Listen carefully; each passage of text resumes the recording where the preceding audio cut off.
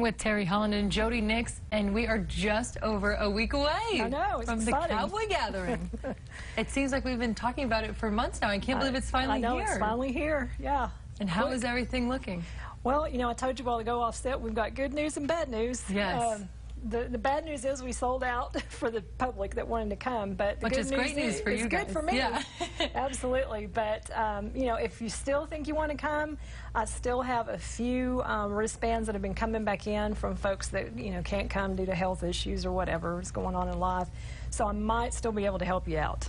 Depending So, on how many. How many? Yeah, yeah. It's, it's slim pickings, but you know, give me a call and, and we'll try to help you out. And this is going to be the sixth year. This is our sixth year, September 7th and 8th, out at the Wells Fargo Pavilion, and uh, I think we've got I don't know 14 or 15 bands coming in. So we've got two full days starting at noon both days and going till midnight.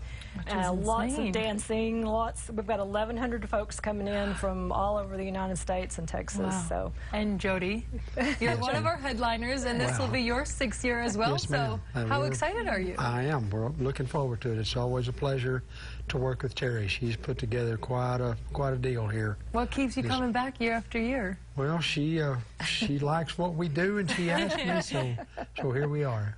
and for those that have never seen you before, I mean, I've heard so much about you, so I'm so excited you're here to play us a song. But what kind of music do you do?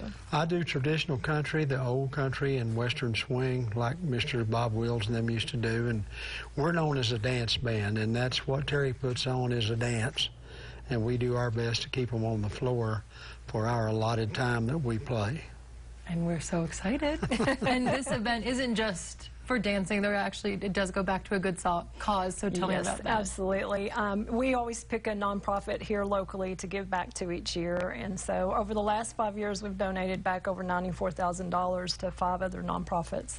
So this year, we chose House of Faith here in San Angelo, and, and we're looking forward to, to giving them a little bit of money and helping them out because you know they serve over two thousand kids every week after school. Um, you know, with with backyard Bible clubs, I think is what they call it, and so. Um, you know, kids can always use some direction nowadays, Yes, and House of yeah. Faith does such a good job, and, and so we're we're pleased to have them as our charity this year. And it's not just music and dancing, right? There's some other things that go along We with it. We have vendors for shopping, so ladies, make sure you bring your, your credit cards or your husband's credit Yeah, make cards sure or your husband whatever, has some money. cash, whatever. But uh, we'll have shopping. We have food. Um, we have a, a concession all weekend with all kinds of great home cooked food.